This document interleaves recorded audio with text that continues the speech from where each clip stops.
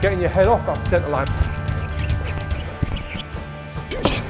Hello, my name's Tony Jeffries, Olympic bronze medalist boxer. On this video, I'm going to give you six different footwork defences, three tips to be able to punch faster instantly. Fighting inside versus fighting out range. Olympic Team GB footwork drills. I hope you do this. In my opinion, is the best. Mike Tyson versus Evander Holyfield 3.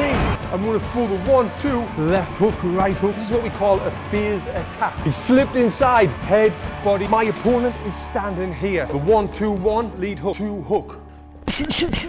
practice, practice, practice. That's the way you're going to get better at it. So if you enjoyed this video, hit that subscribe button, subscribe to the channel, because there's going to be plenty more like this. Thank you for watching.